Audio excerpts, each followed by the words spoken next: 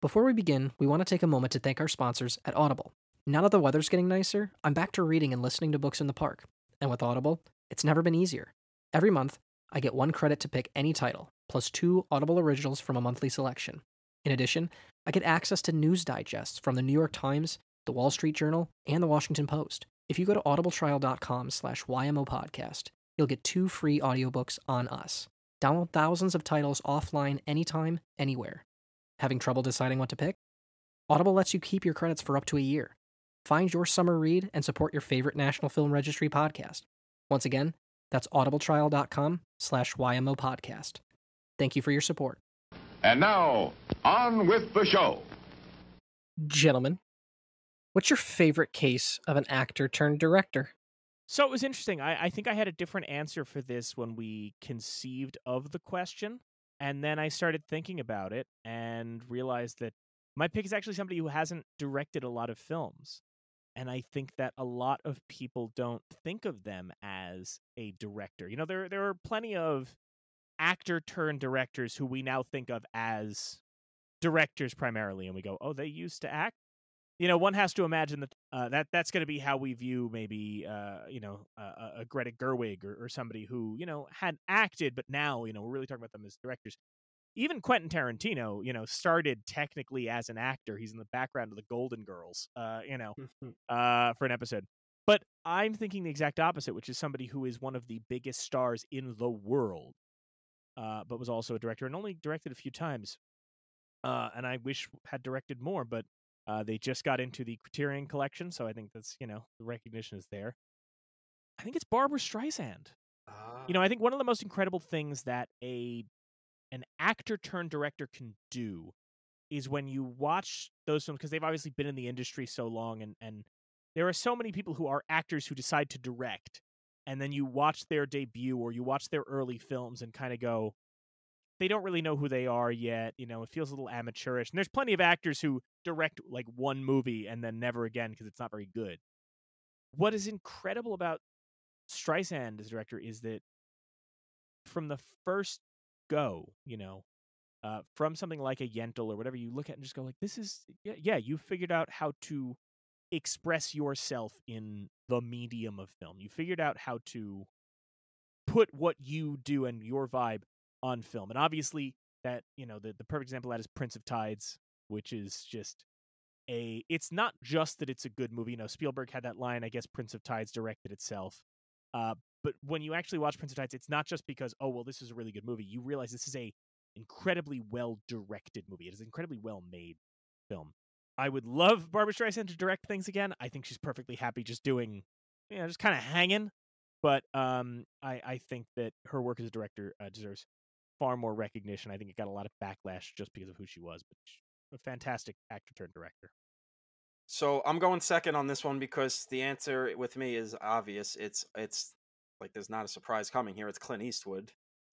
Uh, he's a one of my favorite performers of all time. I could watch any movie he he's in and and enjoy myself because he's just such a great presence and had such a good eye for picking movies. Like he was never in a, like a complete, utterly unwatchable train wreck. He not everything was gold, but everything was like because of his presence watchable. Uh, but his shift to directing was just such a thing nobody expected to was going to be a good idea because he wasn't really respected at the time but he was a guy who worked with some absolute top-notch directors sergio leone don siegel you know so and he learned from everybody he learned from the industry and a lot like cassavetes honestly he learned a lot about what's wrong with the industry and how not to make a movie and there is an almost cassavetian quality to his movies. He's a lot more Hollywood in his sensibilities, but there is that kind of let's trust the actors to do what they're going to do. Let's have a more run and gun style instead of spending 10 weeks on a movie, we could just spend 5. And so he's got like I don't know, 5 or 6 movies that are like unimpeachable like perfect classic movies. And even in this like later run of his where he's kind of not doing the best work of his career, the Mule is really interesting self critique. So is uh, Cry Macho. And then even in a movie like Richard Jewell, which has its flaws, like you see those muscles flexing in the with the bomb scene where you go, fuck. When this guy was on, there was nobody like him because he learned. He's had a lot of. He spent a lot of time in Hollywood. He learned, and he shows it on the screen. Clint Eastwood is obviously my favorite actor turned director.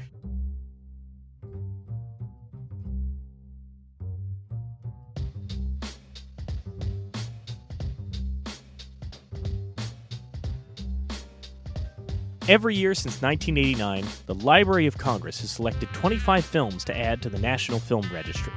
The criteria? The films must be culturally, historically, or aesthetically significant.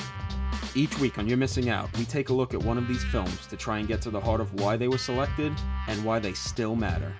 This week, it's a film that broke the mold for how women were portrayed in contemporary film. Video podcaster Robert Bellissimo is here for 1974's A Woman Under the Influence. You know our guest today from Robert Bellissimo at the Movies, a YouTube podcast. Uh, Robert Bellissimo joins us today to talk about A Woman Under the Influence. Robert, thank you so much for joining us.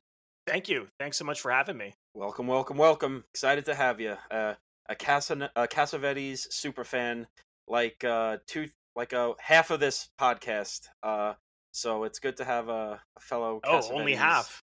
Super freak. Tom, you're selling me out right at the top.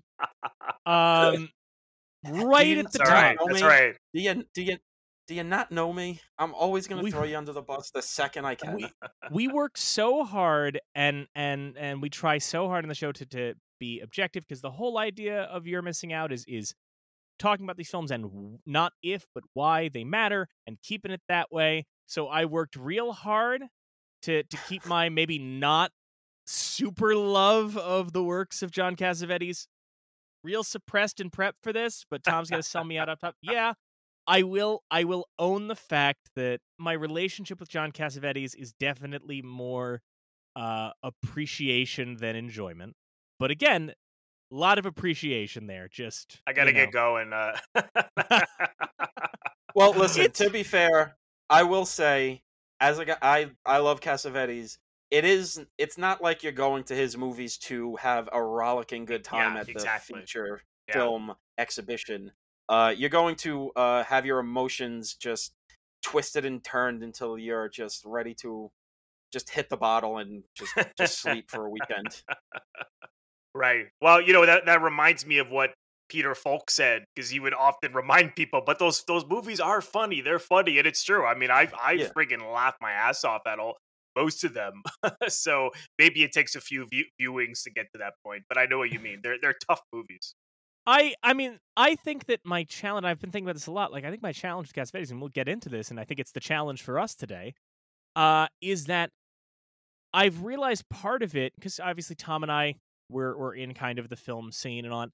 I've realized that I think part of my exhaustion with with that filmography has nothing to do with the films themselves, which I watch and go, yeah, I appreciate this and I respect this. I think it's more so much of the commentary on it both positive and negative. Like I was reading up on this and reading both essays in praise of a woman under the influence and like Pauline Kael's oh, excoriating Oh, review. Yeah.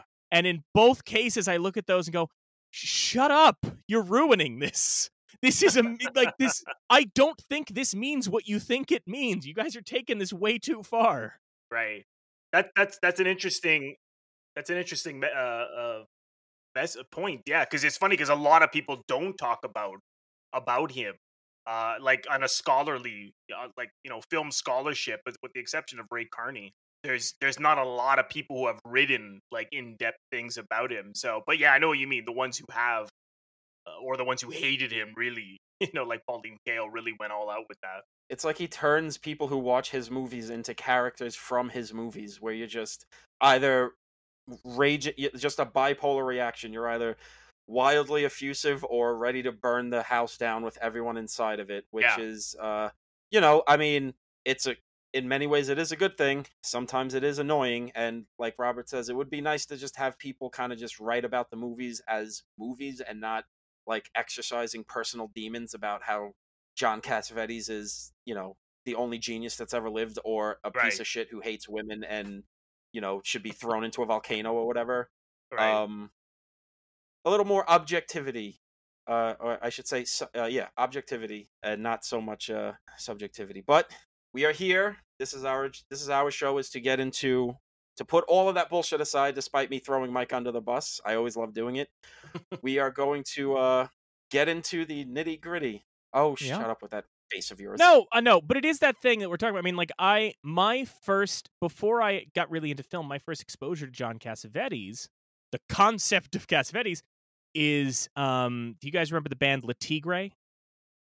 Oh no, but is that the Mm, band who wrote a song about him? Yeah. yeah. There's there's yeah, on their debut album or their self-titled album, uh What's Your Take on Cassavetes? Mm. and it's it's a song called What's Your and and it's these two voices going back and forth uh debating the first thing they say is misogynist or genius and then messiah or alcoholic and it really is just this representation of the conversation around Cassavetes and and so much of his films where I mean you know one that I'm sure we're going to touch on today because I'm sure this is going to be a conversation about more than just a woman under the influence but I know that like Husbands is perhaps the most contentious one for people who Mm. watch it and I you either come away from that going absolutely a really you know self-aware statement on toxic masculinity or the most toxically masculine movie that was ever made.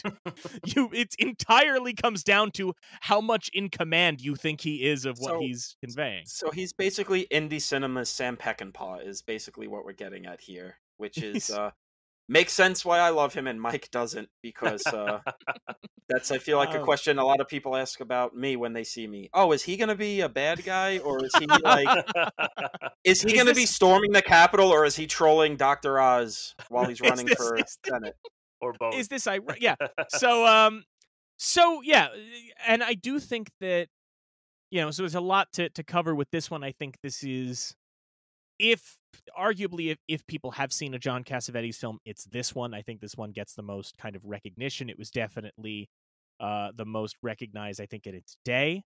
So it makes sense that this is the first one of his to get in uh, Despite almost not getting released yes. because yeah. nobody knew what the fuck to do with this thing, and it took our boy, patron saint of cinema himself, Martin Scorsese, being like, "No, no, no, you show this goddamn movie, or you're not getting Mean Streets in your fucking festival."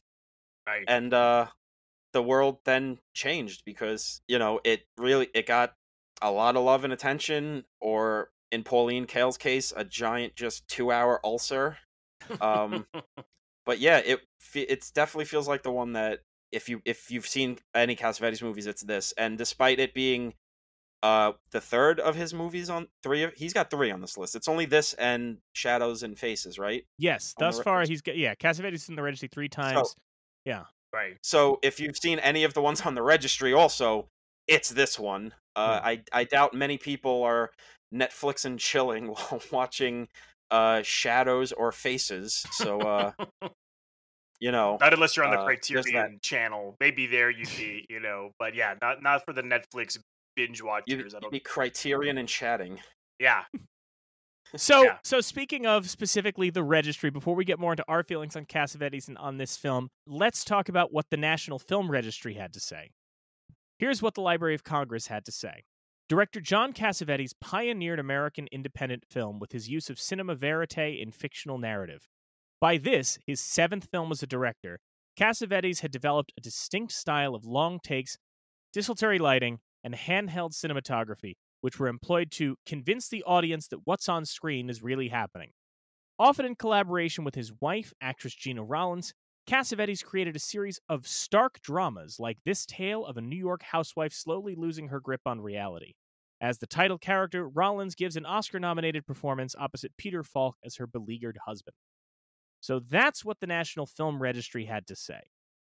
Interestingly, and I, I hadn't read this statement uh, recently, it is interesting that we started this episode talking more about Cassavetes and what he represents rather than this particular film. And it does seem like the registry statement as well kind of comes from a place of we have to recognize John Cassavetes' films. And I guess this is the one that we're going with, which I think is very Well, interesting. I mean, because this is one of the ones we have this every now and then doing this show. Is that there's always going to be movies where it's just obvious why they're in, and Cassavetes is kind of just the patron saint of indie cinema. Like whether you like him or not, like it's it's you know undeniable that this is the guy who is synonymous with independent filmmaking and people are you know directors are t- still talking about him as an inspiration they watch his movies and the passion and the hard work and the dedication of getting them onto the screen. He's he's still that guy. And indie cinema today still has you know the visual language in a lot of ways that he really brought to the table. I mean definitely different takes on things but like there's no way sean baker is not massively influenced by this. Red rocket and you know feels very much you know florida project all that all his Mm. stuff. It this is just one of those ones where yeah like it's the second year.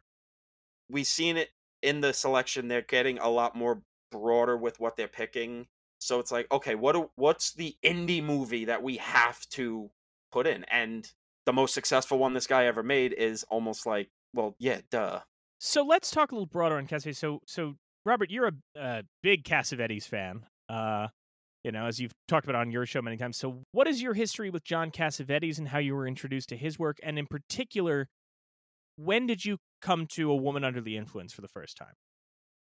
Well, I, I initially heard about him when I was pretty young, like in my early, you know, film getting becoming a film buff days, and I think like a lot of people, you know, you start with Martin Scorsese, and then with Scorsese, Scorsese leads you down the path of everybody because he talks about all of the various masters or or not even necessarily masters people that you may not know that were sort of fell under the cracks. And it, I was reading a biography on Scorsese, and of course, what came up was that Scorsese worked for Cassavetes on uh, Minnie and Moskowitz uh, film John did in 1971, and they were they were friends, and he he was like a mentor to to John. And um, when I was in acting school, uh, a friend of mine there told me uh, that the acting in his movies are are so so real that it's like it's hard to believe that they're they're they're uh, that they're actors. It just seems like people on the street,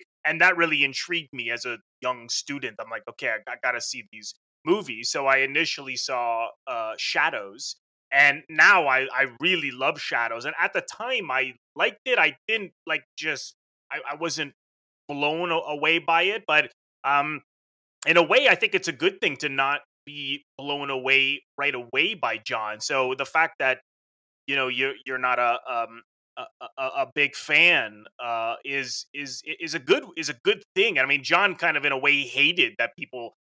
Sorry, John loved when people hated his movies in a way because he knew that that meant that he's hitting a nerve, like that they may hate it now, but then they'll never forget it in 15 years. Uh, uh, but because they, you know, it can really, it can really produce a response in people. So, so from there, I got the Criterion Collection box set, which is the five films that has faces, A Woman Under the Influence, uh, Killing of a Chinese Bookie, Opening Night, um, and Shadows. And uh, I was I was only about 19 at the time, and I went through the whole box set. Of course, I got to A Woman Under the Influence pretty quickly. I was too young to really appreciate the the entire film, but what I really got sucked into was the scene where Peter Falk comes home, finds all some of the kids naked at the birthday party, and and uh, this is this is when Gena Rowlands as Mabel begins to really crack, and they they commit her into the uh, mental hospital. And I was just, I remember I, a filmmaker friend of mine, I had him come over. I was like, you've got to see this scene. This is like the best acting in any movie ever. Um, and, and, and so, you know, I, I probably took a little more to a Killing of a Chinese Bookie as the film as a whole. Um, but that's the thing with, with John. I mean, you, you'll, you'll, you'll, every time you see them, it's like a different experience because they're so subjective. They're so spontaneous. Uh, he doesn't give you all the answers. He doesn't spell out things for you, and that is that is difficult. Or he'll put you through a scene that's very uncomfortable for like ten minutes. Uh, you saw that a lot in Husbands and Faces. Um, so you know, from there, I I just you know it was like fell in love with the guy and, went through his movies and every couple of years i may have gone off into other directions but i'd always go back again and again more than any other filmmaker. I think to this day, he still, you know, endlessly fascinates me. And Tom, what was your uh, first exposure to uh, Cassavetes, or uh, this film in particular? I should say, as we always talk about. You know, what, what was your first time seeing Woman Under the Influence? Uh, well, my first time with Cassavetes was a woman under the influence. He was a guy, you know, you're in the film circles and you hear Cassavetes all the time. Things weren't as easy to see back when we were in high school and college. They've gotten easier in many ways, in other ways they've gotten harder. But yeah, the Criterion box set was available back when Barnes and Noble didn't realize that uh, the their 25% off coupons counted towards the Criterion sale. So you got things a lot cheaper than they wanted you to get them. so I picked that up and uh, that was the first one I picked because that was kind of the one that everyone was just would talk about. It was Yeah. like it's you know, it's the pinnacle, and uh, I, I was blown away by it pretty immediately. Uh, it it really knocked me out. Um, it didn't help that it, I was kind of in a domestic situation that wasn't too dissimilar from what is happening in the movie a very fraught emotionally unstable relationship. Uh so i felt very connected to that. I felt like it felt like john you know from ha- living through it like okay john really got something here. This is a guy who is able to get to an emotional core of something. Uh let me keep watching this guy's stuff. And i i i really you know love the guy and i respect the guy when it's all when we all talk about Cassavetes too, we uh, it's always about his him as a filmmaker, but he was a great actor too. You know, I got to shout out Oh yeah, that yeah. it also led me to his work as an actor in uh, The Fury or The Killers or you know The Dirty Dozen, and um, it feels like any conversation about him as a filmmaker can't not get into his work as an actor because it feels like all of his stuff is such a reaction to how phony cinema was when he was coming up as an actor, you know? Mm. And uh you know, the guy's just endlessly fascinating and um I don't know, as a guy who grew up in a very masculine world where a lot of toxically masculine guys were around, it's also another thing of just having someone that early in cinema being able to really dive into these kinds of men with without being didactic about it, which is interesting that he's so early doing it and he's not preaching to you. He's just here it is. Yeah. You know, hands out on just going, here you go.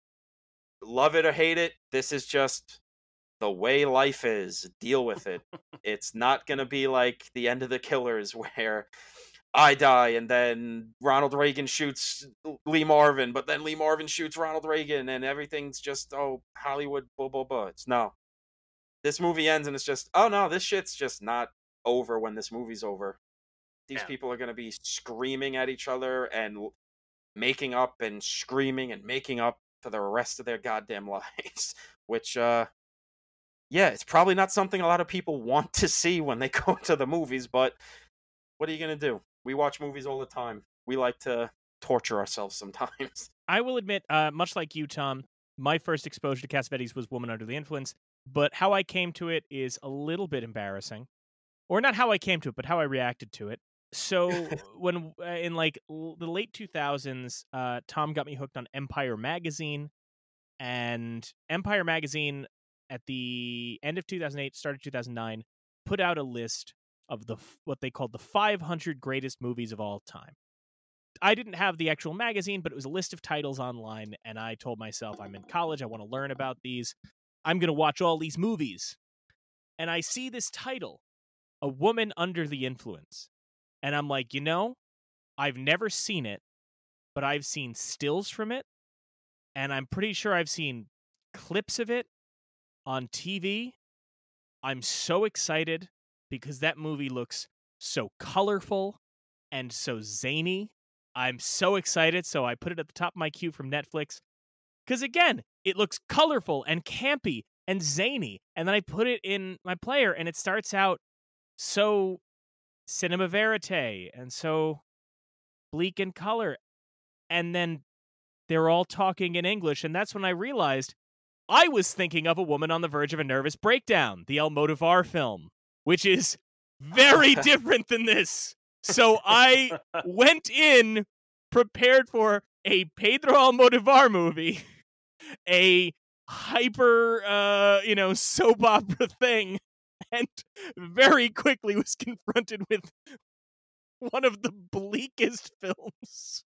So I was uh, not only So, uh, unprepared, I was underprepared for this. So you basically went in thinking you were seeing the Disney open range, but you saw the Kevin Costner open range. It's Home on the Range is the Disney film. Okay, we we just we were just talking about how it's easy to confuse those two. But yes, um, yeah. So that was my first exposure to it. But I will say this: like, it was a film that I know when I saw when I saw it, I was very very taken by it. I had the same reaction uh, as as you guys to this film. I mean, obviously, the Gena Rowlands performance is uh, is incredibly striking, and especially because when I came to this film, when I came to Woman Under the Influence, I was deep into diving into all of the Italian neo realists at the Mm. time, you know, because I was around that time, so I was watching. I think I had I had watched Rome Open City maybe a week or two before uh, I first watched A Woman Under the Influence.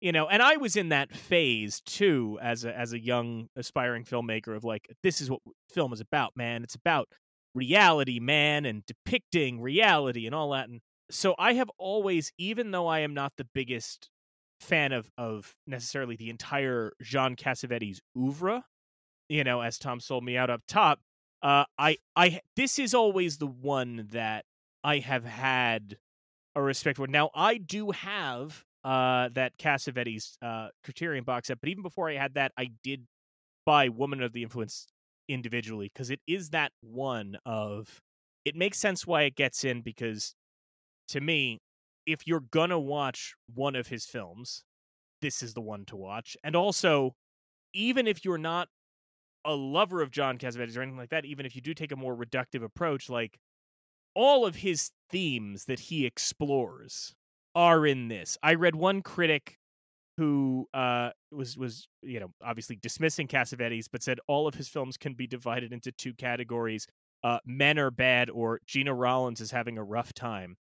Uh, which I don't think is a fair critique, but it is what if if that even if that's even if that's how you sum it up, this movie kind of covers those bases about as thoroughly as as you can. I think it's you know it's kind of the perfect encapsulation of what that whole approach is, which I think is interesting. Right. Yeah.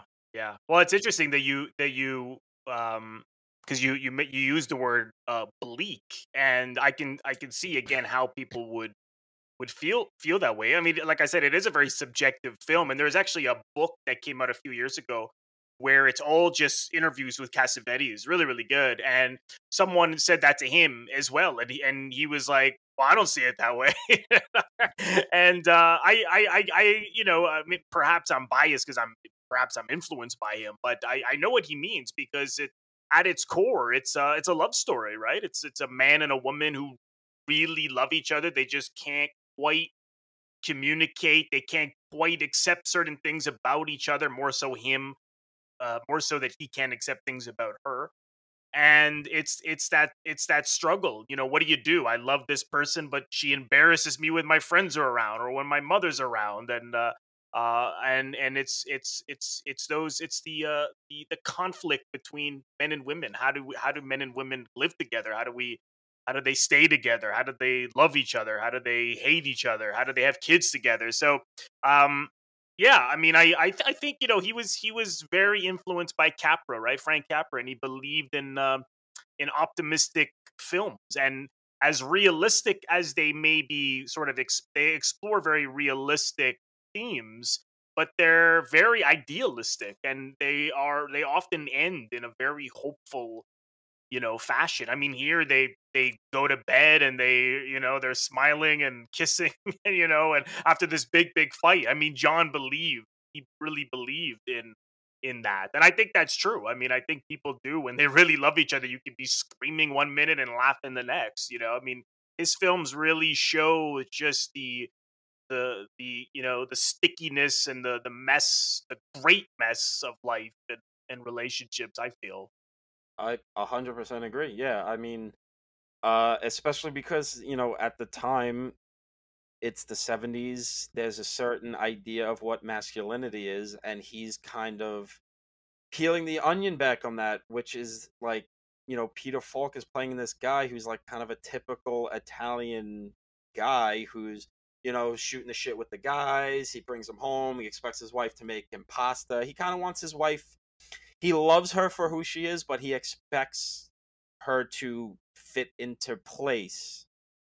And it's just going to show how like these ideas we have of ourselves and what we expect of others, you know, at this time leads to a lot of mess that doesn't need to happen if this guy could just be a little more not an Italian man of the 70s. And I I just you know, I I agree. I they're definitely heavy movies. I don't necessarily know if I'd call them bleak because there there are just so many funny moments to so them. So much, yeah. But it is just such a thing of especially at the time, at least in American cinema, you don't get so much brutal honesty even if it is ultimately at the end well these two still these two crazy kids still love each other it is still a rough a Yeah. rougher ride than i think even today honestly it feels like we've you know hit a, s- a s- you know the pendulum swung back to like an older hollywood model of oh well you can't have messy characters anymore and everything has to fall Yeah. into place neatly and everyone has to be nice and even the villains can't be too villainous it's um it's it's just you know he's at least in america he was like that first guy that was just saying no we could just show people as people you know and Yeah, no, definitely. I mean, they they people are complicated, and I- I, I you know I I I think uh, I think you're right, Tom. I think you know now they they would def- they would define those two characters in a certain box, like he's the heavy and she's the victim, so to speak, and um and as they would have perhaps in the 40s, but this is the the fascinating thing about film history is that we expect history to just be linear and it you know it never really is. I mean there are plenty of you know even from the the classic hollywood period that that have some complicated portraits that even now really hold up. But um yeah i mean he is um he is just extremely em- embarrassed by her and uh and doesn't know how to reach her and then he doesn't he doesn't really have it happen until um until the very very end uh, of the film. And uh you know it what's interesting is that people see this film being about mental health or they see it being about al- alcoholism and those things are all in there. But um it's really about it like i said it's it's really about men and women and men's need to control you know, a woman perhaps and um and and and trying not you know i think he legitimately is trying doesn't realize doesn't know himself. I mean his characters are blue collar often or they're middle you know they're lower to middle class and they're not articulate. I mean I, I think one of the reasons why this film was so successful is that these characters actually often say what they mean. But wh- when when they say what they mean they're very um uh coming from a place of ignorance but at least it makes sense. Like nick and mabel both say what they mean whereas in faces they don't. Husbands they don't. Uh he, the characters in those movies are much more lost and there's so many movies where the obstacles that characters face the the the, the people uh very much know how to handle those obstacles and these characters don't. I mean these are just i mean his films in a way all of them are like these people sleepwalking through life and they get hit with something that they can't handle and um in a lot of in a lot of his movies i find that very funny i mean especially nick you know he's alone with these kids and he's drinking giving them beer and he's bringing them taking them out of school bringing them to the beach. I mean, it's great i mean it's insane i mean who the hell would do that? Uh but you know i mean every like i said every time you i take to them in such different ways every time that's just the real beauty of art and john was certainly an artist in in my books Well, that that is the thing that I think is fascinating about him and the reception to his films is that and I, I said this up top that I, I think that my struggle with Cassavetes is less to do with his films and more the discourse around him because I think that you know, um, Robert, you're right about how you find something new in it every time. They're hard to put into any kind of category. Anybody you read trying to tell you what this movie is about, it feels reductive. And Yeah, then you see so yeah. many people who I was reading a, a piece um, that was published in the Harvard Crimson uh, that Irene Larcher did. Uh, Irene was responding to Pauline Kael's criticisms and saying, here, because Pauline Kael, when she reviews this film, decides to make her entire review viewing this movie as an expression of the theories of this particular psychologist of the time, uh, this guy R.D. Laing, who I don't mean to be too reductive, but R.D. Laing was one of this, uh, you know, to to to over oversimplify it, part of this movement of people in like the '70s with that kind of, "No, man, you're not crazy. It's society that's crazy. Dig, man. Mhm. Schizophrenia is not a thing." You know, like one of these things that sounds now like one of those guys going, "Dump your medication in the toilet, man. You don't need it." Like that type of cat. Cassavetes rejects that label. And it's like, no, it's not about that. It's not about gender. It's not about that. But then Irene Larcher, even trying to dispute that, in her own piece says, this is where Cassavetes loses me because I think this film is clearly about gender roles and he says it's not. And it's, I think it's a little, li- the thing about Cassavetes that I think is, is interesting and about this film in particular, it's interesting is it's, it's, it's not a Tennessee Williams play. It's not something where you can kind of go, this is the theme. It's like a Pollock painting it's like a, a piece of modern art where you look at it and you feel something and you get something from it but at the same time any attempt to kind of take this is what it said to me this time and make it into this is what the movie's about feels false you know I, I somebody could walk out of this movie feeling like oh my god these two people are in a toxic relationship and it's the worst thing for them and Gena Rowlands is not getting the help she needs.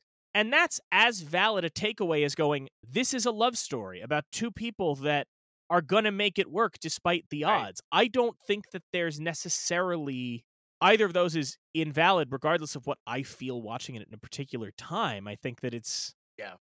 Yeah. You know, it, it uh, like I said, like a Pollock painting or like another piece of modern, he kind of just presents events Yeah. and just goes, all right, take from this what you're going to take, which I think makes this such a compelling viewing.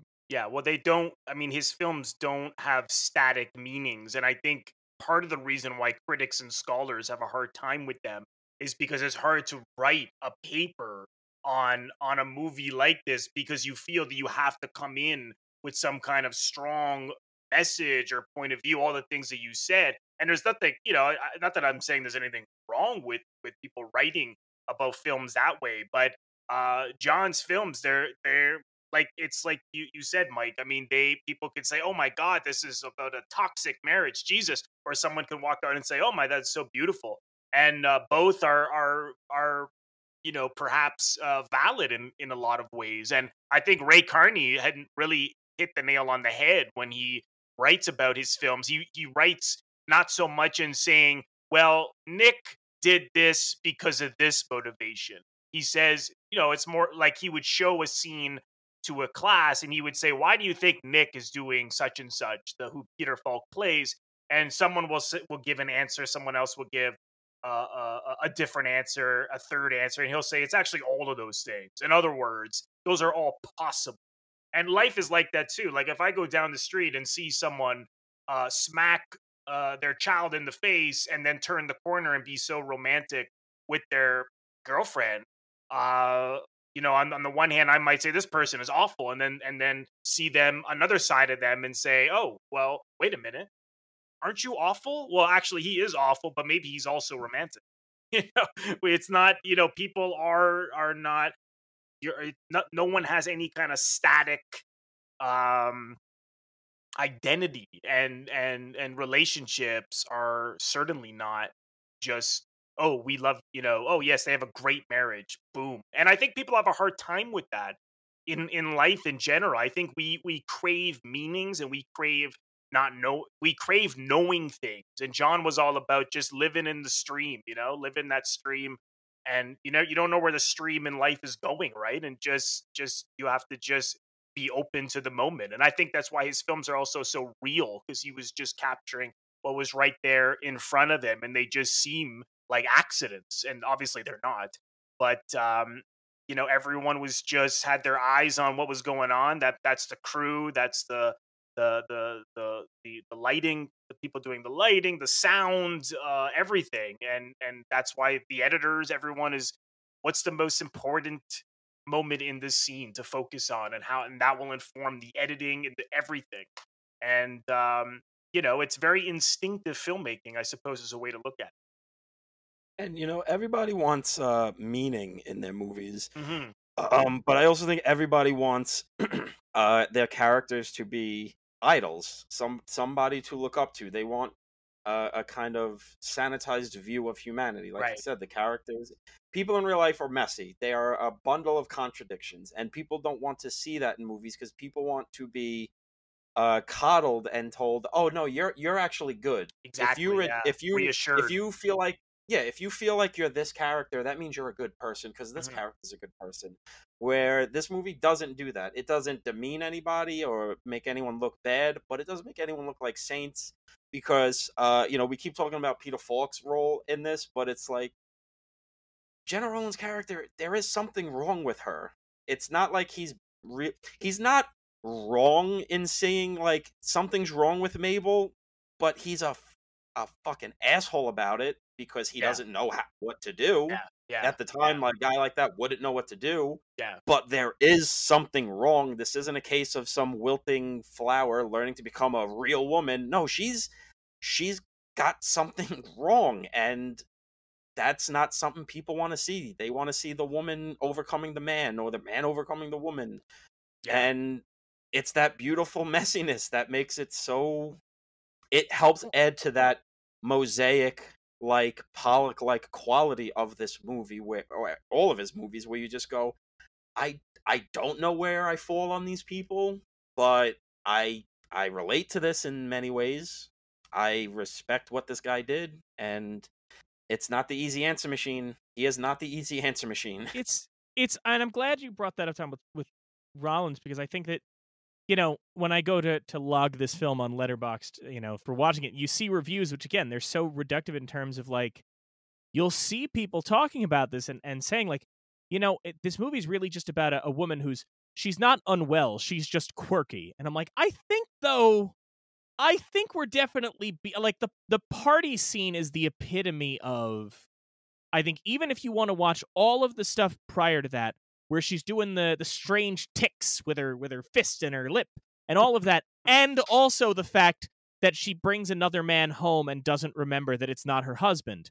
Right, even if you want to take all of that which should be a red flag there the party scene is so great because it's the fir- she doesn't necessarily i mean yes the kids are running around naked which is you know a visceral thing but it's not like she has a scene where she's telling the kids to play with knives per se but you do understand why the other father is Yeah. looking at it like i this is this is like a, a hair away from going off the rails in a bad fucking way and the thing that i think is interesting about fuck is the first time i watched this I know that my takeaway from it was this is a movie about a woman who needs help and nobody knows how to give it to her. But this time, you know, and maybe it's getting older or maybe it's, you know, situations I've been in. I don't relate to the Falk character in his, you know, I'm I'm certainly not a blue collar uh, you know, rough and tumble kind of guy or nothing like that. But I do understand now a, a little more the what I call the foxhole mentality which is that you know I think that in our in our uh, I hate to sound like an old man, but in our kind of Twitterized, Tumblrized world of how we talk about how to deal with things, we only focus on like, well, if this person's having a tough time, you need to give them a hug and pat their hair and go shush shush shush shush. But there's the foxhole mentality I think in these situations, which is even though he's not approaching it right, I do get that when she's having these moments, his approach is like, look, we got to deal with the practical shit right now, and then we can deal with the emotions later. Like, if you cut your hand open and you're bleeding, I'm going to shove it under the sink and put a band aid on it, and then we can deal with how you're feeling. But holy shit, you know, like, now I watch it and it's a little more like, it, it plays less like this man doesn't understand this struggling woman, and it plays more like, okay, she set the house on fire and he's busy tossing buckets of water and saying, we can deal with why you lit a match later. Not saying that's the right approach or anything like that, but I do think that that's a totally different perspective on this character this time around. And the film hasn't changed at all, just I've changed. And I think that that's what you guys are saying about the, the different approaches one can have to this. Well, that's why it's so easy. It's why that character, despite being so aggressive and wrong in how he handles the situation, is still relatable because it's all because he does love her and he's trying. He just he, he's like, We've got these we have children. We have lives in our care. I love you. I don't know what to do. I'm just really, really trying. And I, I don't know. I feel like that's a very relatable thing. You know, sometimes we just get into situations where we just don't know what to do, but we're just trying our damnedest to survive and make sure our loved ones survive, even if we come off looking like fucking dicks about it, which he does. That's the really amazing balancing act of the movie. He's an asshole, but he's not an asshole because he's malicious. He's an asshole because he's ignorant. He doesn't know what to do. Exactly. This is the Yeah. woman he loves, and he wants to make things better, but he just doesn't know what to do while this woman is cavorting around, not realizing other men are not her husband, while she's letting the kids run run wild. All this crazy shit she does. While she's getting in the faces of every guy at the dinner table when they come home for breakfast. It's he, I love that. he just it's yeah, like he just doesn't know what to do. yeah. And it's again in a more simplified movie. He's just a bad guy who's Right. just abusive to his wife, and he doesn't really love her. She's just an item. But no, she's Or it's- he's just desperate to try and save her. That he's, you know, that he's the one struggling there, you know, uh, against her her illness. That's the other alternative, and this film doesn't do either. yeah. This movie and Cassavetes is not the easy answer machine. This Right. is, and it, it and, and you know. Robert's right. It is. It, I, it feels hard to. I can't imagine being someone having to write an article or an essay even with an unlimited fucking word count at your disposal, trying to wrangle like a cohesive, like single thought about this movie because it is just as intimate and small scale as it is. It is like an epic mosaic of emotions and themes and f- just feelings. It's just. I mean, fuck. I mean, listen, Pauline Kael can eat shit, but like, I I don't necessarily blame her for not knowing how to handle this movie because it's a fucking messy movie, especially for someone as big a dipshit as she was. You know, listen, she's dead. She can't come after me, and even if she did, I could take her. only yeah, only uh only in your dreams, I suppose. Um Uh, Yeah, God, she is gonna haunt me tonight. yeah, she'll haunt you. Pauline No. Is Tom's Freddy Krueger. Yeah. I'm gonna wake up. I'm gonna wake up in a bathroom, and I'm just gonna see, hear someone getting swirly, and I'm gonna see Pauline Kael walking out after she just swirly David Lean and saying, "I'm coming for you next." Oh asshole." God. Yeah. Well, you know, it this uh something that is is coming to mind here is like uh one of her uh I'm not sure I'm I'm not sure if I I'm sure actually I'm sure both of you saw it. Uh one of his early studio films that he really didn't like is uh a, um a child is waiting which they Mhm. you know they they The Stanley Judy Kramer Garland one, right? sorry It's Judy Garland's in that one, right? yeah, Judy Garland and Yes. Stanley Kramer uh, re-edited it and re-edit took it away from him and re-edited it and and you know it's a, that's a that's another story. Uh, but you know, John, something that John really points out, you know, that film being about you know children who have mental dis- all sorts of mental disabilities and you know he he really felt that you know it was it was society looks at those people as being quote unquote problematic and we need to coddle them because they don't know how to act in society and he felt that actually we're the ones who are dopes you know because well what what is wrong with the fact like if someone like Mabel who's like really kooky and and yet that that behavior is just not acceptable and i you know the john would often say you know that he's almost not crazy. In other words you just have to you just have to accept that everyone actually is pretty nutty and all this behavior we we do in society is often learned behavior in order to survive. And so a guy like Nick is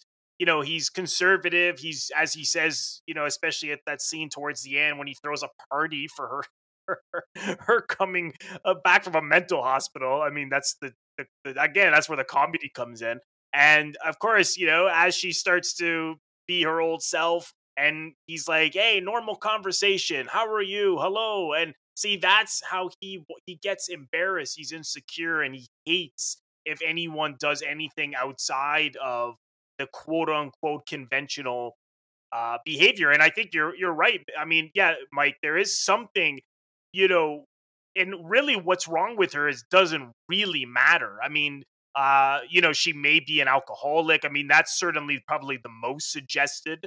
Uh, if she did doesn't recognize that guy she you know slept with and she thinks it's it's Nick, you know, is that because of, of from all the alcohol? is that from a mental illness?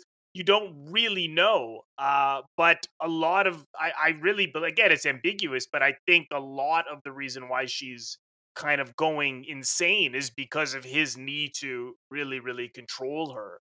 Uh, but that's just the way I see it. Someone else may say, well, she has a problem and he doesn't know how to deal with it. But I think her problems really come from the fact that, you know, his need to for her to behave in a certain way.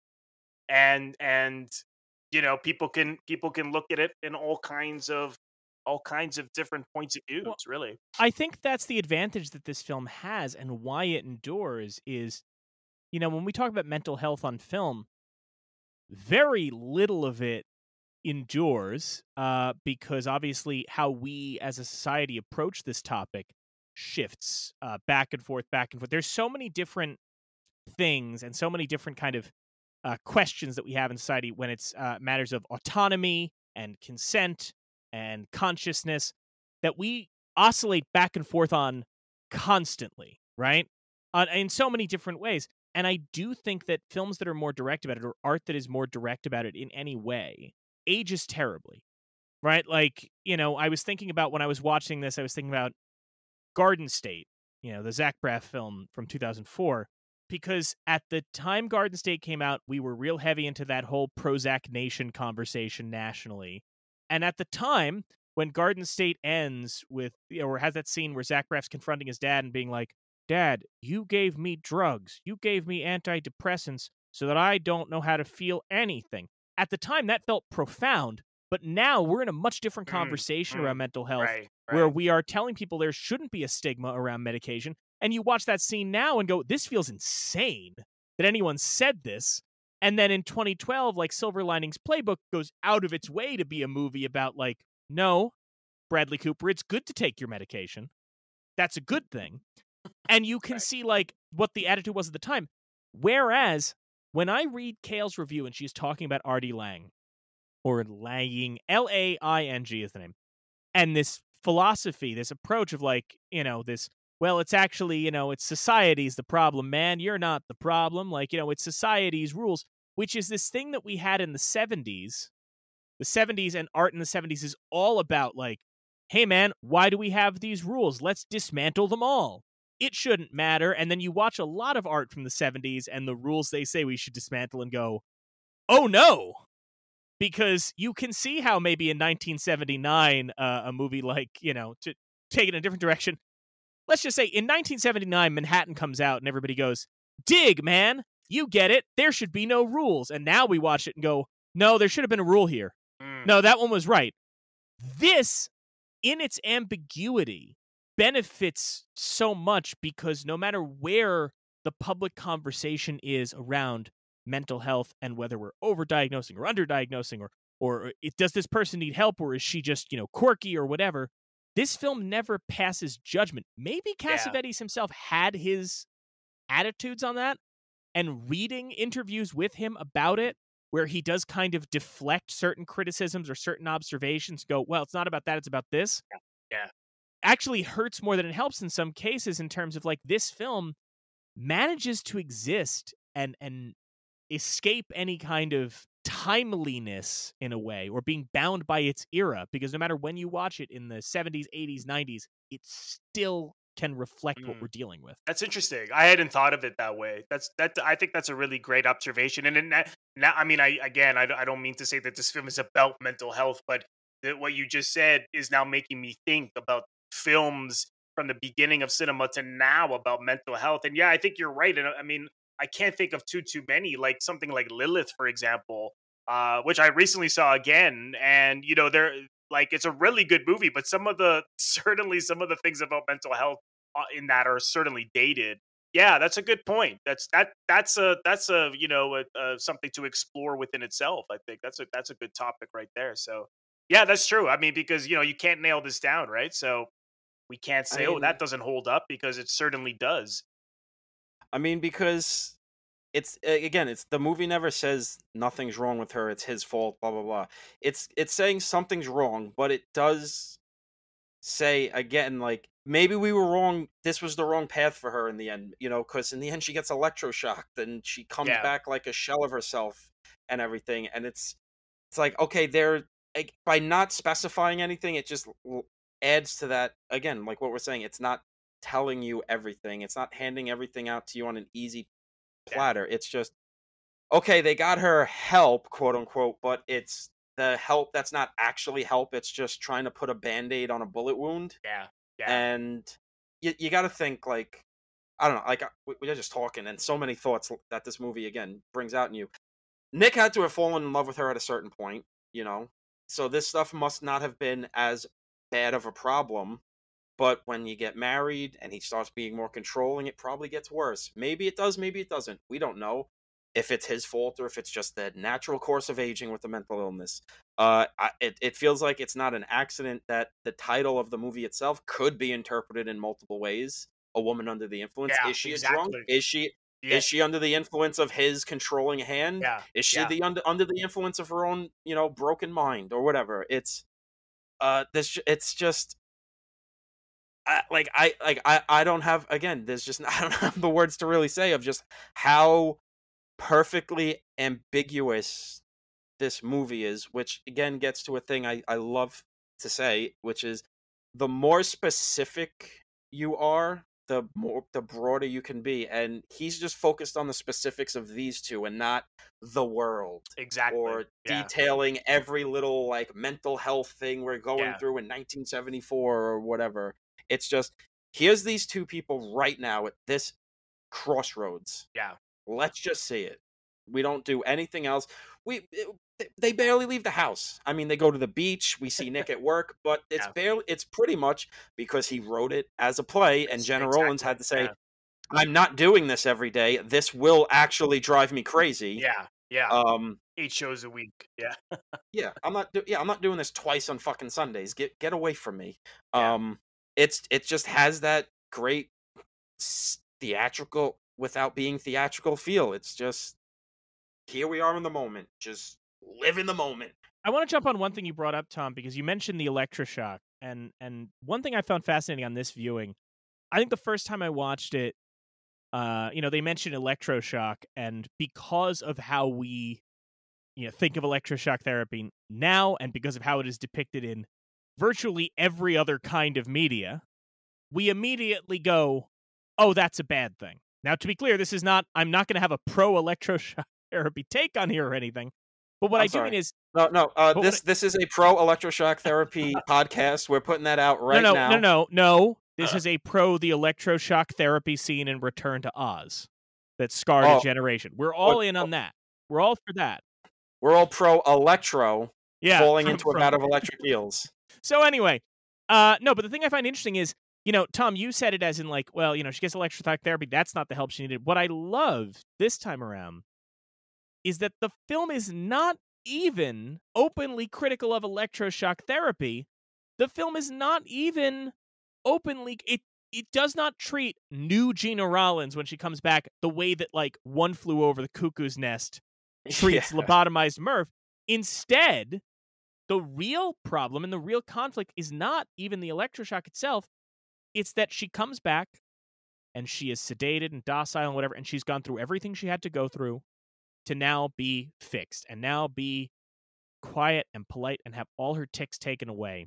And the problem is not that her ticks were taken away, it's that now all of these people, her dad, her mom, and particularly Peter Falk, are going, "Come on, Mabel, where's the old Mabel?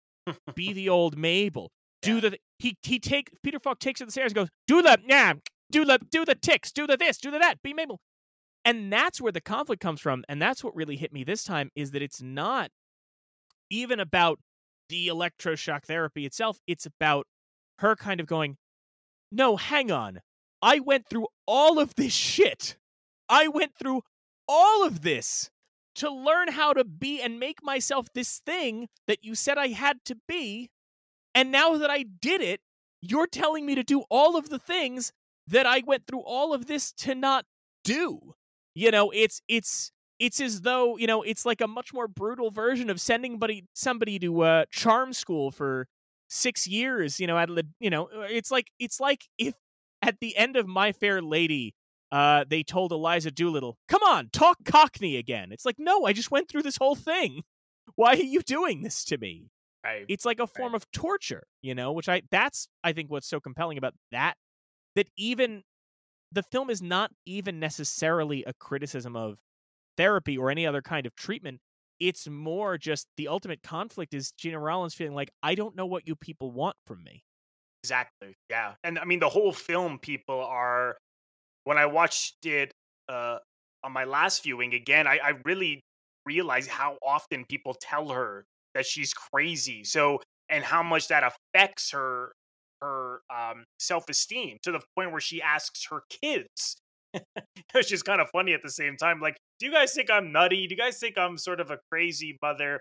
Um, and yeah, you're right. I mean, you know, from from the very first scene after the spaghetti breakfast scene, when all the guys leave, and then she says to him, "I'll be whatever you want me to be." And then when she when she does that, okay, I guess I just won't talk after coming home from the hospital, and she's sedated. And then he's like, "No, no, no, go back to being the way you were." And then she does go back to being the way she was. You know, she she mentions that that one friend of theirs has a big ass now, and she's she's doing some weird little sketch with a her ribbon and little jokes and stuff. And then he's like gets mad about that. So nothing satisfies him, and that is ultimately why she goes and tries to kill. You know, she takes the razor blade, right?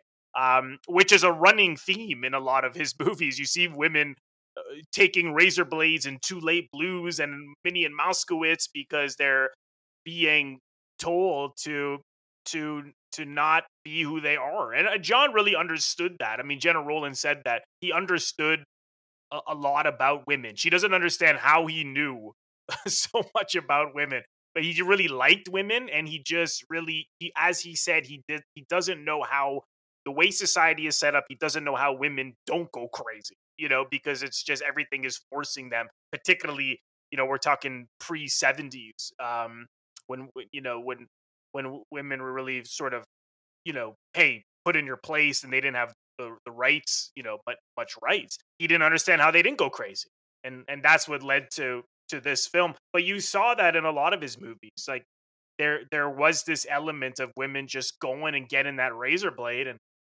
you know trying to kill themselves because of what what the guy's doing, what whatever their man and their life is doing to them. So it's pretty it's pretty interesting. Yeah, I think you know. You mentioned Too Late Blues, by the way. That is a that is a movie that. Uh, so I I watched uh the bulk of Cassavetes' filmography in prep for this, which Oh, Tom yeah Tom's oh yeah. uh, so when I got to Too Late Blues, and you see the reviews on like you know of people going like, well, it's the studio held John back from doing uh what John Cassavetes would have fully done in this movie, and I said, thank God uh, because watching Too Late Blues and imagining what the unfiltered John Cassavetes does with that movie, I'm like, oh, I would have drank bleach. This movie would have been so hard to get through if he had had no restraints that I would have walked out like I had I would have had a thousand yard stare by the end of it. I would have been Rambo yelling they drew first blood. You well, know. they, well, they didn't change too much. I mean, the big thing with that film was that you know because John liked to rewrite and stop. Yeah. And, and of course, when you're working with a studio, they were like, "No, no, no, no, no, no. We're not stopping. You're not rewriting. We're, we're Yeah. following what we were doing." And uh, the the there was only a couple things cut, so it wasn't that I mean, then again, if he had approached it as he approached this film, Woman Under the Influence, where he's it's just his own money, he can do what he wants. I'm sure it would have been different. But That's what I'm saying. Yeah, yeah, it wasn't that you know there was only a couple of things that were cut really so uh, i like that movie i mean i know it, again it's people kind of put down his studio films uh, and because he did and yeah they're not as good as his independent ones but they're i quite like too No, late I, Blues. I, Yeah. I like Too Late Blues, and Yeah. weirdly, I hate that Bobby Darin got panned for that movie because I think he's good. In I thought he was great in that I think he's. I think yeah he's he was he was a friend of of john's he was in john's acting class and you can see him um, in shadows he's in shadows Yeah. he's like a background performer in shadows you see him in there One thing I wanted to single out is he's only in it for like a couple minutes, but Fred Draper Oh, showing up as Mabel's father. uh, Fred Draper was also he was. If people have seen Faces, he's in like the first scene or so of Faces. Uh, also, he was in like six episodes of Columbo with Peter Falk. Yeah. So they all had a relationship, but Fred Draper showing up in this movie is such a masterstroke because you think you've spent so much time with Mabel, you spent so much time with Nick, and you're like, I think I got a beat on their relationship and what their whole thing is. And then Fred Draper shows up for one scene as Mabel's dad, and his ticks and mannerisms and approach to her is so fucking weird that all of a sudden your entire perspective on Mabel and everything shifts because you just his behavior like this is a whole can of worms and you've gone the whole rest of this movie looking at Mabel and kind of being like well if she's messed up maybe it's because of Nick or maybe it's because this maybe it's because that and then it isn't until Fred Draper appears where you go oh this shit could have started way earlier. Like there's what is their history? What's their vibe? You know Tom said something about um well, Nick and her must have fallen in love at some point, and it's like when you see the way that Fred Draper approaches her and the fa- you know her parents approach her and all that, you kind of go, is this something that escalated? Was she like this when they met and Nick just thought it was endearing and now it's become hard to deal with? Is this something where I think, you know, when you're in a relationship and things like that, you know, you get older and you realize, oh, there's shit we probably should have dealt with earlier on and now it's festered too much is that what that is in this? It just that whole thing adds a whole other layer to this that I think isn't there for most of the film that I think is really compelling. So I wanted to I wanted to shout out Fred Draper's uh, Yeah. quick appearance in this. Yeah, no, I, I quite I quite like him uh, in this, and I and I like that I like the way he responds. Nick is like telling him to sit down, and then he just keeps saying, "I'm not in the mood for spaghetti. I gotta go." And he's talking about spaghetti, but really what he's saying is, Nick, shut up and don't tell me what to do. You know, Yeah. but he's just talking. I mean, that's just the genius of of Cassavetes that these characters are saying one thing, but they really mean something else and uh yeah that's a that's a i had it I, to be honest i hadn't really given a lot of thought to the parents her parents in this film. I mean the the that's his real mother uh her sorry her real mother gena rowlands and and cassavetes real mother is also nick's mother in this. Um i always just saw him as like the concerned father you know and she's telling him to stand up and sit down at the dinner table and he's like honey i don't know what you want me to do um, I hadn't, yeah, but you know, it's interesting. You could really go down a rabbit hole with their history and possibilities of the relationship from well before the film starts. I mean, that's again, that's the beauty of this movie. It's it just is so well informed and so rich, and you feel like, you know, the story didn't just start when the movie starts. That this is something that's been going on, and that it's going to keep going on when it ends, and whatever we just popped in for this, you know, two hours over a six month span period of their life, and um, Right. uh, I feel like honestly, the only thing I really think I just want to end on is Gena Rowlands gives like the best performance ever in this movie. Oh yeah. yeah. Like we're, we're spending so much time on Cassavetes, and like rightly so. Like I mean, he directed it and and all that, but like she's and Peter look, Peter Falk's great.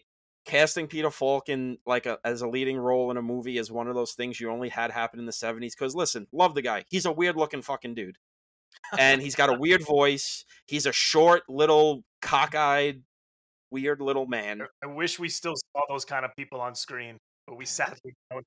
But like that's the thing is like again another thing Cassavetes was one of the early guys with. In fairness, Tom, as we know, as Wim Wenders told us, Peter Falk is an angel. So you know, Peter never Falk is an angel. is a There you li- go. Um, it's one thing to do it in shadows and faces when it's really super low budget stuff, but to like start gr- growing in scale, like Minnie and Moskowitz, like Seymour Cassel, another weird looking man. He looks like a fish with a ponytail in that movie. um, uh, it's it's just, but like Peter Falk's great, but Gena Rowlands, it's it's it's it it, it felt like what six years ago when Elle came out and we saw what Isabelle Huppert. What is yeah what Isabelle Huppert did in Elle, and we just went, oh, so this is like the peak of of acting for like what another 50 years or so like until someone else gives another actress their Mabel Longhetti or their Elle like is this just this is just it and this is like what what what did other actors do when they see, see, saw this? Did they just like was this like when you were at Eurovision and ABBA performed well, I was. I, I want you to know, Tom. I was going to make a joke before we talked Oscars that since we are a bunch of film nerds gathered on mic, we have to spend a solid five minutes talking about how good Gena Rowlands is in this movie. Uh, so I was going to make sure we covered that because it is undeniably one of the greatest film performances Oh, yeah. of all time. Yeah. because because because uh, you know Falk is great, but without her performance, this movie would fall into the traditional trappings. She might not be as you know human and messy and a, a lesser actress, or even an actress of equal stature who just doesn't have the wavelength connection that she did with John, her husband. Uh, it just wouldn't be the same, and it's just it's just an it's just out of control. It's fucking insane how great this performance is. I I I know I shouldn't be probably saying insane in relation to a movie about a woman literally going fucking nuts, but uh yeah, I mean she's just fucking great. It's like what if even if this movie wasn't like inducted for its status in independent cinema, you just look at her performance and go, "Oh yeah, no, yeah, we need to get this preserved for the rest of time because fucking look at this shit. This is insane." I'm doing it again, I know. the the what's what's also extraordinary about not uh about the performances she gave i mean everybody but her her more so because she's in pretty much all of them is particularly the independent ones like a film like this she they well no, no one would have known if anyone would even have seen this at the time i mean she's given Yeah. this performance not getting paid not knowing whether this is even going to come out i mean cassavetes self-distributed this movie when a time when no one did that. No one wanted to fund it. No one wanted to see it. They they had to literally go into theater after theater to self distribute it. So she's giving this performance that you, she doesn't even know if this is going to come out. Uh, but they do it for their art because they they felt that something needed to be explored and said, and that's really that's that's really e- extremely admirable. Uh, and and that's that was really why they wanted to do it. But yeah, she she hits everything. I mean, people talk about the intensity, but the humor too. I mean, she's so funny in this. There's the party scene with the kids, and she's acting out the Swan Lake, and she's trying to get the other guy to clap and and and and have a good time because he's so reserved. Um, you know, it's it's it's so funny and and so heartbreaking at the same time. I mean, she's just you know, I I interviewed someone who worked with her. She was in Love Streams, Leslie Hope, the uh, actor director. She you might may know her from 24. She was Kiefer Sutherland's life wife on 24. She was in uh, Talk Radio with uh, Oh, Uncle okay, yeah. film.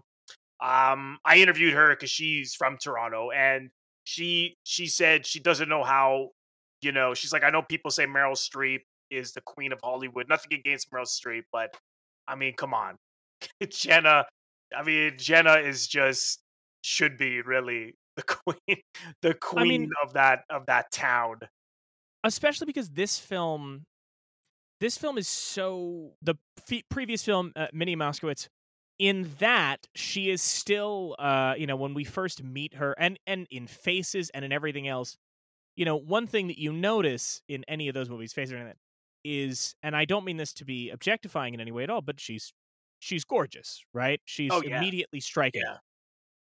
what's so remarkable i think about from the first minute we see her in this movie is how unadorned she is from the start. It is so willing to make her not look because one thing I hate is, you know, when we talk about great acting performances and they're like, well, they they made this actress look so ugly and they made her so vulnerable. while people could describe this as a vulnerable performance, what I think is so interesting is that it is not vulnerable in the way that so many movies have an actress or an actor be vulnerable in a sympathetic manner. This is just unvarnished. This is un unmade up. You know, from the minute you see her, it's just messy and chaotic, Yeah. and that nothing. I mean, we can watch it, and you can certainly be moved by her doing the Swan Lake dance or her breakdown or anything like that, but not a single iota of the performance she is giving is done toward the audience, is done to win the audience's sympathies. She does not care whether you come away from this movie going, well, Mabel is, you know, a, a, saint who should be preserved, or whether you come away from this movie going, Mabel should be locked away for a million years. It's not done with any intention to win sympathy or to evoke anything other than this is what I feel this character would do. This is how ugly it's going to get. This is how unsettling it's going to get. This is how disjointed it's going to be. And I think that that is just that there is a courage to that kind of performing that you don't see in, I think, you see in very few performers. And she deserves every ounce of praise for that. Oh, it's yeah, just honesty. It's that's that's the simple way of putting it. It's just honesty, you know, and it's it's great. I mean, really, she she's the queen. She's she's on Mount Rushmore for sure. Uh, So to wrap this up, like we always do, we're talking about the Academy Awards. Tom, how did a woman under the influence do at the Academy Awards? How do you think it did? What do you think it got recognized for? probably director, actress, and screenplay. It probably won zero. So you are so close. It did not get nominated for Best Picture. The Best Picture nominees that year were Chinatown, The Conversation, Lenny, The Towering Inferno, and the winner, The Godfather Part 2. Uh, worth Wow. noting for everyone listening, Chinatown, The Conversation, and The Godfather Part 2 are also all in the registry. We'll be talking about Chinatown next season. Uh, it Lenny was is bad. it was nominated for Best Director. Cassavetes did get a nomination for Best Director, uh, but lost to Francis Ford Coppola for The Godfather Part 2. It's an interesting year because even though Towering Inferno and The Conversation are up for Best Picture, the last two Best Director slots go to Cassavetes and also Francois Truffaut for Day for Night. Again, just hell of a lineup. Uh, and the only other nomination it received, it did not get a screenplay nomination, but Gena Rowlands was nominated for Best Actress. However, you know, we started this off with Robert talking about uh, Cassavetes' relationship with Martin Scorsese. Rowlands loses to Ellen Burstyn for Alice Doesn't Live Here Anymore. Right. Uh, I also want to point out, even though we may all be like, oh, Rowlands should have won for sure, and I, that's certainly where I'm at. Talk about Murderer's Row. The best actress lineup this year. Ellen Burstyn wins. Gena Rowlands for Woman Under the Influence. Valerie Perrine for Lenny. Faye Dunaway in Chinatown. And Diahann Carroll for Claudine. Just an uh, just a goddamn murderer's row in that category. Marty, like- you fuck. but like it's this weird thing where it's like any one of those performances you look at and on their own isolated if somebody told you that won the oscar you'd go yes but knowing that that gena rowlands performance is in there somehow feels right for that being what should win over four other incredible performances it's such an interesting thing There's a story. There, there apparently there was a post Oscar party that cast that Tim Carey threw for Cassavetes and the the woman under the influence team. Scorsese showed up feeling terrible that hit that a that a movie of his a performance beat something of Cassavetes. And I can't remember how Cassavetes responded, and I shouldn't say it because I don't know for sure. But I, I'm guessing uh, he laughed or something. I mean, he really didn't care about awards and all that kind of stuff. Um, but I, I I didn't know. I always thought it was nominated for Best Picture. I didn't know that the Towering Inferno got a Best That's- Picture. No, Yeah. oh my god! I mean, that's a fun, you know, whatever seventies i i go back to those disaster movies all disaster. the time That's that's what the word Yeah. I'm looking for. Because Disaster any- movies. Yeah, the Irwin Allen things because anytime you see one of those like film Twitter people be very like man, I wish we were back in the 70s. That's when movies were good. I'm like, Yeah, bro, yeah. look at the box office. You will not believe that's true. some of the things that were a big deal. Like everyone forgets that Earthquake was a huge Yeah. moneymaker. Yeah. And you, know, what? Towering Inferno probably finishes in fourth in the best picture race, in my opinion. Oh, Tom, I'm sorry. Tom, do you have thoughts on the movie Lenny? That's never come up on the show before. Have I talked Lenny. about Lenny on the show before? Tom, multiple times, and twice you used the exact phrasing, Lenny, that movie sucks. Oh, That is exactly Well, on listen. two different episodes. Listen, you made the joke. Every time you tell me about something I said on the show, I look like I'm saying in my head, "Yeah, that guy's got a good point." Well, you know what? I got a good point. That movie sucks. Okay, so uh, but a woman of the influence certainly does not. Uh, we're so glad, No. Robert, that you could join us for Yeah, this. man. Thank you. Uh, this was an Oh, amazing my pleasure. My Uh, pleasure. Anytime. Thanks so much. did you have anything you wanted to plug? Uh, did you want to talk a bit about Robert Bellissimo about the movies? Uh, do you want to talk a little bit about what you're doing uh, for the folks listening? Sure. So it's a YouTube video podcast. There also is an audio version of the uh, YouTube channel, which you can find on any uh, podcast platform. But YouTube is where uh, all the episodes are, and it's a, a video. It's it's it has evolved since it started um, in the summer of 2020. I originally had a co-host. Uh, and after about 10 months, he decided to leave. And so I carried it on on my own uh, and it's really about uh, exploring storytelling on film um, and and how and all the, the different ways in which stories are told uh, very much like our conversation today you know uh, you know you can put certain films in a very simple box and simple motivation and people walk away one and done and Cassavetes you can never be one and done because they're very very different so just really exploring and reviewing uh, films in a very in-depth way and how the stories were told on film. And then I also do interviews with various people who work in film. Uh, I have a lot of writers on, people who write uh, books on film, um, and actors and directors and screenwriters and stuff like that. So you can find that on YouTube. It's youtube.com slash Robert Bellissimo at the movies. And I'm also on uh, Instagram at the same uh, same name at Robert Bellissimo at the movies. Twitter is a little different. It's uh, at RB at the movies, and there's a Facebook page uh, as well. But it's uh, it's pretty easy to find, even if you just Google Robert Bellissimo, uh, it'll come up. Robert, thank you so much for joining us. Uh, I really appreciate it. And everybody else, stick around. We'll be right back with our picks for the National Film Registry. The National Film Registry isn't some fixed object, frozen in time. It's always growing, adding new titles every year. These annual selections are made by the National Film Preservation Board, with members like Martin Scorsese, Alfre Woodard, and Leonard Maltin, and representatives from organizations like the Academy, the DGA, and the AFI coming together to debate and decide. But they don't just pull titles out of thin air, they pull from the public, people like you and us, who can submit their nominations for the registry in a form on the Library of Congress's website. What we do at the end of each episode is have Mike and Tom pick films not yet in the registry that they feel should be, inspired by that day's topic. At the end of each season, those films will be formally submitted to the National Film Registry for consideration on behalf of You're Missing Out. Here are today's picks. I'm going first on this one because I'm picking probably the second best movie John Cassavetes ever made. And it's not actually a John Cassavetes movie. I'm picking Mikey and Nicky, which is an Elaine May movie that she made with Cassavetes and Peter Falk.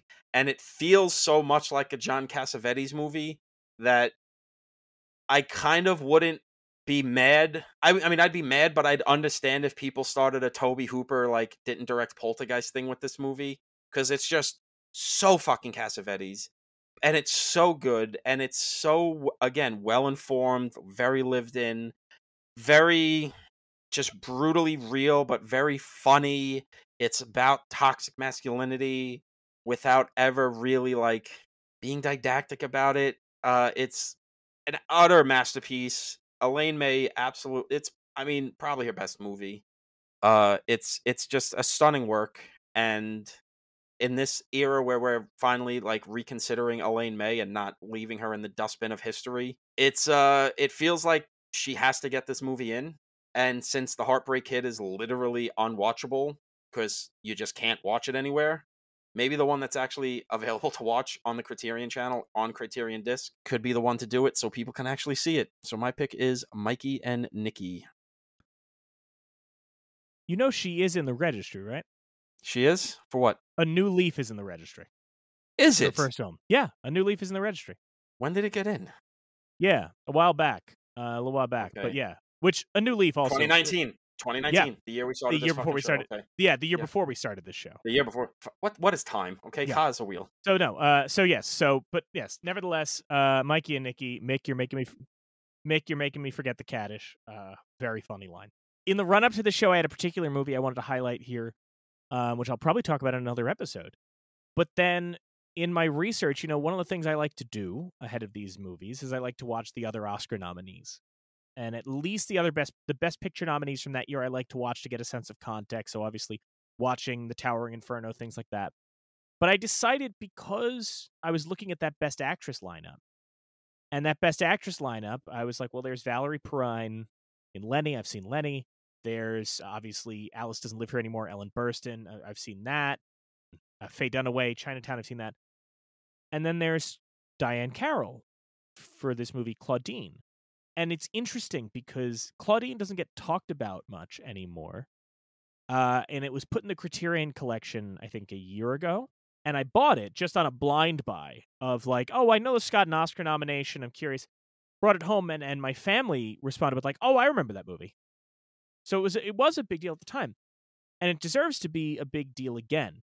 So my registry pick is is Claudine, and not just because of an incredible soundtrack and a truly extraordinary performance from Diahann Carroll and a great performance by James Earl Jones, but also because it was a movie that endeavored to depict not just Black American life uh, at a time where the big thing was blaxploitation films and trying to be a, a response to and rebuke of blaxploitation films, but also it is an extraordinary indictment of the American welfare system and the catch 22 that these people uh, on it are put in and these conflicts of so wait a minute if we get married then we're both off because of my income here and this and that but wait a minute but you're telling me that i have to do this thing or i can't it is just about this this incredibly broken system uh, that that overcomplicates people's lives in a in a very cruel uh, way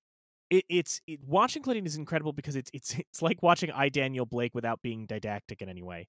Um, and again, soundtrack's incredible. Diahann Carroll's extraordinary. Um, I'm glad that this movie's in the Criterion Collection so more people can see it. I think it needs to be just in the full cinematic canon. Claudine is an extraordinary film and should absolutely be in the National Film Registry.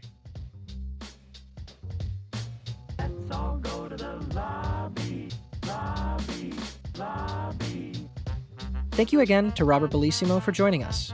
Next week, we bust a gut tackling an essential Marx Brothers viewing. Comic playwright Mark Levy joins us for 1933's Duck Soup. Don't forget to follow the show wherever you get your podcasts. Thanks again for listening, and we'll see you again next time.